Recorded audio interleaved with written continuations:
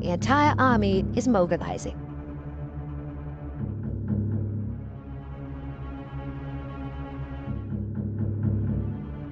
The raiding parties head out to the last place they'd found food, where they had pinned down the fuel wing termites.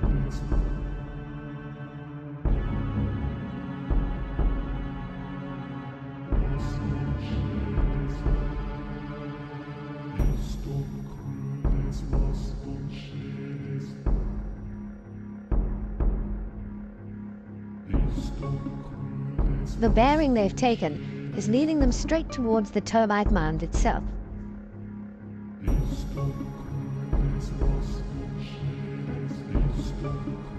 Ants and termites have been adversaries for over a hundred million years.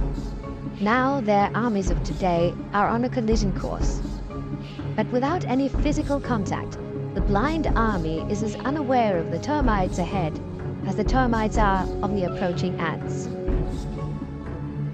They begin to swarm over the outside of the termite towers that for the moment appear to them to be just mounds of dried mud.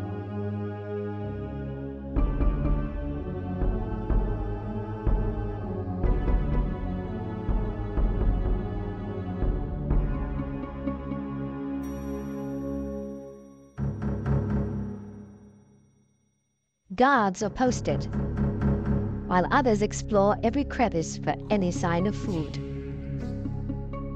First contact. The ants know there's something here and change direction towards the alarm signal. They mass around, the guards alert for any unpleasant surprises.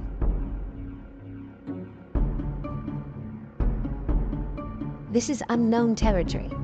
Anything could be lying in wait down there. A worker gingerly explores the gaping hole, and a scouting party lays a scent trail for others to follow. Activity increases. An assault is on.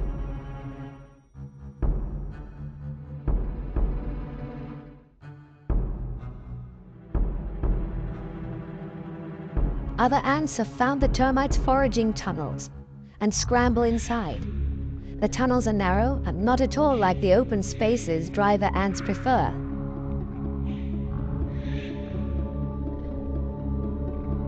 Termite soldiers with enormous jaws and heads prepare to check the incursion.